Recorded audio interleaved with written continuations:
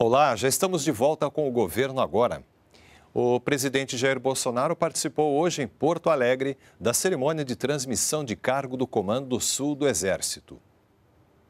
A solenidade foi restrita em virtude das medidas de prevenção ao coronavírus.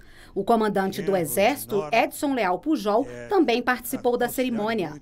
O novo comandante militar do Sul, Valério Trindade, é experiente.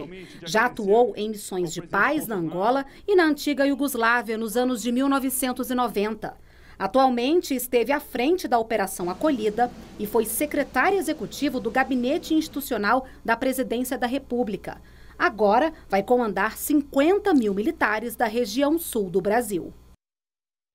O novo ministro da Justiça e Segurança Pública, André Mendonça, assumiu o cargo nesta quarta-feira.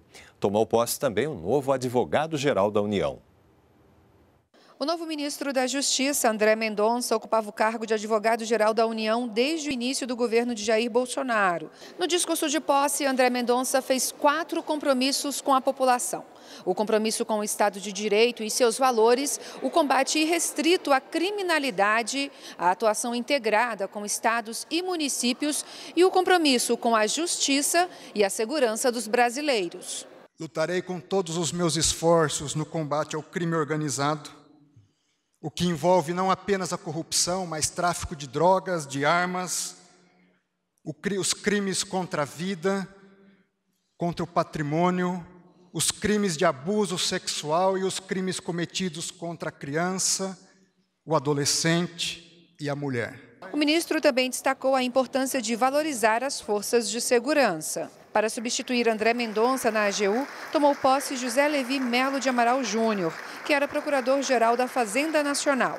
Uma advocacia pública construtiva passa exatamente pela busca permanente da segurança jurídica, sobretudo para os gestores eleitos da coisa pública, a bem das políticas públicas propostas. Ao dar posse aos dois novos ministros, o presidente Jair Bolsonaro falou da importância da independência entre os poderes. Não posso admitir que ninguém ouse